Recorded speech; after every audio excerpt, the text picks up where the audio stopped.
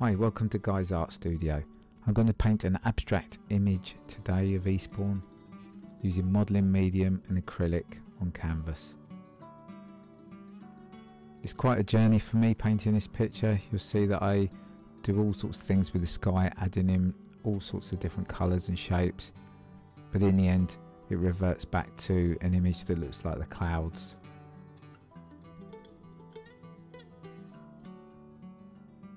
Hope you enjoy this journey with me. Please check out my other videos on YouTube, Guy's Art Studio. Thank you very much.